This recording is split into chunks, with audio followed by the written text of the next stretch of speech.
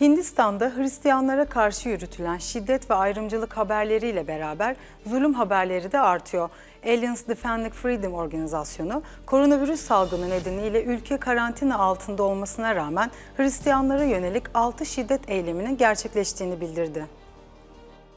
Hindistan'da Hristiyanlara karşı yürütülen şiddet ve ayrımcılık haberleriyle beraber zulüm haberleri de artıyor.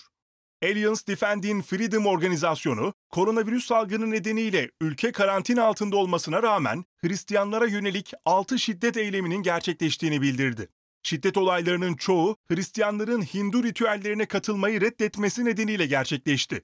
İnançlarına aykırı olduğu gerekçesiyle Hindu törenlerine katılmayan Hristiyanlar saldırganların hedefi haline geldi. ADF Hindistan, Hristiyanların vefat eden akrabalarını gömmesine izin verilmediği 3 vaka olduğunu bildirdi. Hristiyanlara köy ritüellerine katılmadıkları için para cezası ödemek zorunda oldukları söylendi.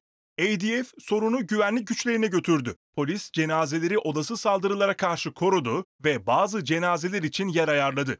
Hristiyan liderlerse ayrımcılık ve şiddet eylemlerine karşılık hükümetten koruma talebinde bulunacaklarını bildirdi. Hindistan'ın mevcut hükümeti 2014 yılında iktidara geldi ve radikal grupların Hristiyanlara yönelik saldırıları da o tarihten itibaren ciddi şekilde arttı. 1.4 milyarlık nüfusa sahip Hindistan'da yaklaşık 66.2 milyon Hristiyan yaşıyor. Open Doors'un dünya izleme listesinde Hindistan 10. sırada yer alıyor.